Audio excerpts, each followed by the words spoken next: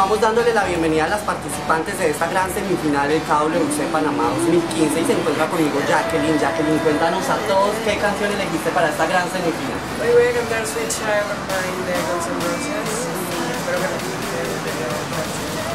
Cuéntanos a todos qué méritos crees tú que tienes para llegar a esos ocho finales de, de la gran final.